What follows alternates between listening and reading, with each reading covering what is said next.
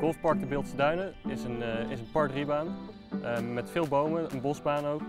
Um, gelegen op zand, dus over het algemeen goed te spelen. Mensen hebben meestal wel vooroordelen erover dat het een par 3 baan is, terwijl het toch wel uh, een redelijk lastige baan is. Het is hartstikke leuk om hier te trainen natuurlijk. Uh, het is het enige systeem in Nederland dat op deze manier werkt. Het is een baan waarbij alle balletjes naar het midden rollen en dan via een band worden teruggebracht naar de machine hier. Je hebt dus geen kannetje rondrijden waar je op kan mikken, maar wel andere mikpunten zoals de greens en uh, de targets. Dit is Jeroen.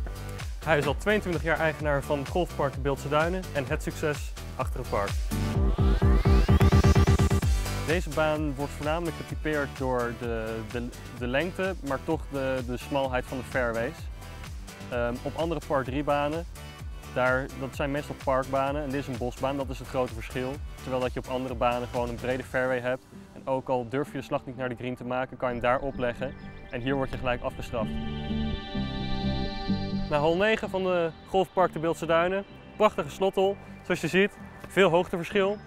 Het is 109 meter naar beneden, speelt wat korter. Green ligt voor het clubhuis, dus als je hier een hole maakt, dan moet je ook echt een rondje geven. Eigenlijk is het wel voor, voor ieder niveau leuk. Uh, beginners gewoon puur omdat het niet een al te lange baan is. Ze kunnen gewoon makkelijk volhouden.